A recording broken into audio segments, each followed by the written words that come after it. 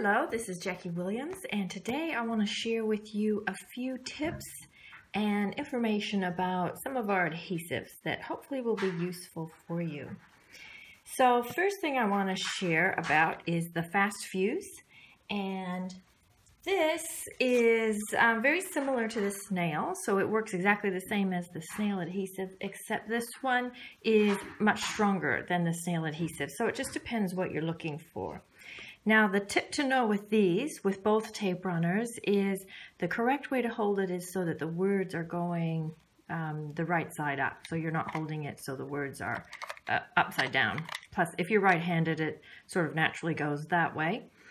The other thing that I've seen people do is press far too hard. This one, you'll get the best results if you use a very, very light touch, as light as possible, and just roll it down. And then when you get to the end of where you're going, you want to just flick it off to break the tape. And then same thing on the other side, and then just flick it off.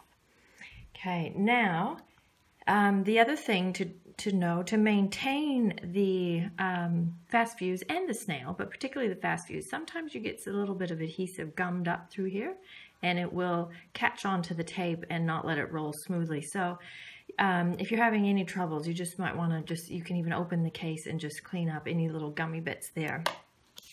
Okay, so let's go ahead and adhere that on. Okay, the second thing I want to show you is our tear and tape. Now, it looks like just your standard double-sided tape, but it's called tear and tape for a reason because you don't need to use your scissors. Now, the advantage there is one, it's faster, and two, you don't need to gum up your good scissors. So that's one of my pet peeves is sticky scissors. So what I do, in this example, I'm obviously putting down ribbon, is I would just hold what I want to um, adhere, press down some tape, and then just snap it off like that. And once you've done it a few times, you can actually get quite, oops, except that is completely crooked. You can actually get quite quick with it. And let's do our second one. If I had three hands, I could do have done both of these at the same time.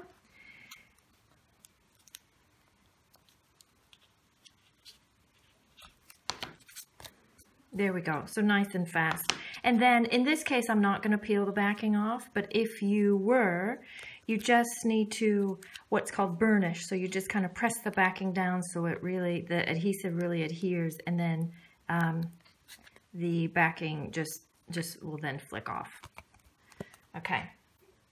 Then the next thing I want to show you is dimensionals. Many of you may be familiar with dimensionals now. I've already put them on the back of here, but one little tip. Now dimensionals give you that 3D effect.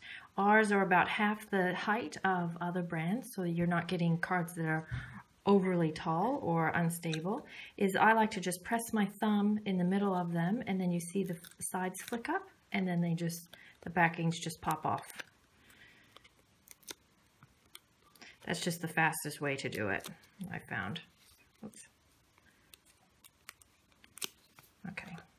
And then you can go ahead and adhere that where you want it to be. Okay, then we've also we've also got the fine tip glue pen. Now there's just a couple things with this. Um, it is very liquidy. You can see even on the video that it's like water in there. So you don't want to squeeze it very hard. Also, when you, um, only the white part comes off. Uh, well, actually, all of it comes off, but when you use it, you only want to take the white part come off. Uh, off. When the first time you open it, you want to take off everything. So right here at the base of the black part, and there's a seal. So you want to take that seal off. Quite a few people have come to me and said it doesn't work because the seal is still on there.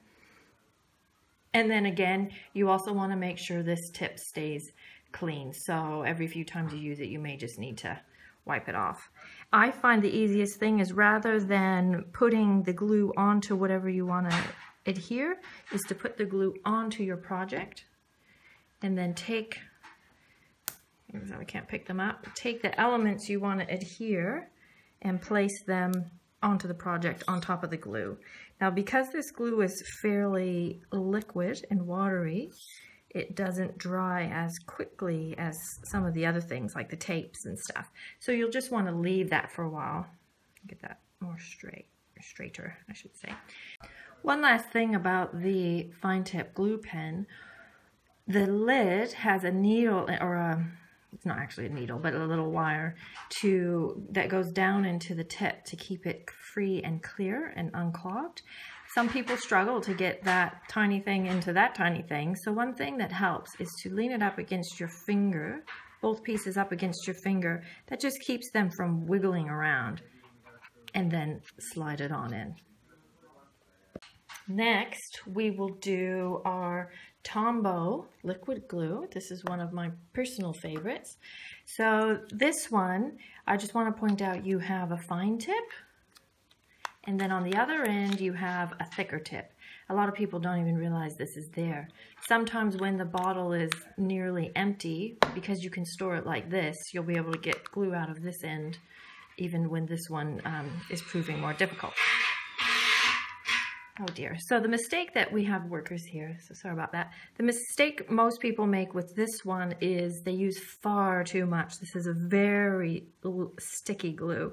So I try and teach people to just use tiny dots like that. That is actually adequate, believe it or not. Or you can use a very thin line like so. So um, whichever you feel more comfortable doing but this glue will last you a very long time. There you go. And the advantage to this one is unlike tape, uh, because it's liquid, you've got a few moments where you can adjust anything should you need to. Okay, then our last thing I want to show you are glue dots. So this this comes in a roll and you well, maybe you can see there's little dots of very sticky glue. I find it's it's much easier to put the element onto the dot and then pull it off rather than pulling the dot off with your fingers and then trying to stick it onto something that just proves very um, messy. So I'm just going to put one heart on here like that, but I've got the others ready to go. The only other thing I'll point out about glue dots is to not unwrap it to where you're using it and then leaving all these other glue dots exposed because then when you put it in your drawer or back in the box, all these glue dots are going to come off and you've wasted them. So you want to keep a, a length of, of the wrapping paper around any of your unused glue dots so that they don't come off um, without getting your use out of them. So I think that is everything I want to share for today. I hope you've learned something and you can get a little more value and use out of your adhesives. Thanks for watching.